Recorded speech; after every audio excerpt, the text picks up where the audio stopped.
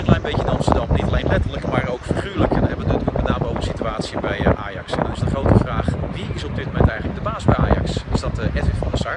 Is het Mark Overmars? Of is het misschien toch Dennis Bergkamp? Lijkt de geniale voetballer van wanneer de kwade genius van de situatie daar te zijn. Is het in het verleden al met Wim Jong zo? Later ook nog met Orlando Trustful, de assistent van Frank de Boer. Nu blijkt hij de man achter het vertrek van Peter Bos te zijn.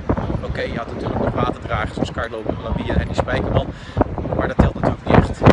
Het is steeds maar opnieuw Dennis Bergkamp. Je vraagt je toch af hoe het kan zijn dat zijn rol zo dominant kan zijn. Zeker omdat hij ook regelmatig niet aanwezig is bij wedstrijden. Een soort specialistentrainer is. En dan wel een onderdeel uitmaakt van technisch hart. Maar eigenlijk ook weer niet zoveel verantwoordelijkheid neemt. Maar nog stiekem wel pakt als het gaat om bepaalde mensen. Zorgwekkend, zo zou je de situatie kunnen noemen. Zeker als je bedenkt dat er nu een nieuwe trainer gezocht moet worden. Die moet dus in het pulletje passen bij Dennis Bergkamp. En zich moet conformeren, kunnen conformeren aan de gedachtegang van het technisch hart. Stromingen die steeds opnieuw bij Ajax zullen ontstaan.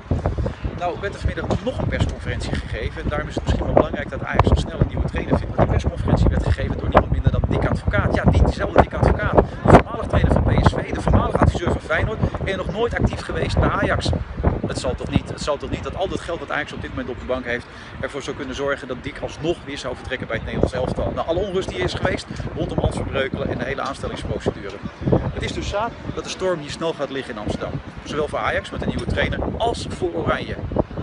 Uh, misschien dat Dennis Bergkamp het zelfs ook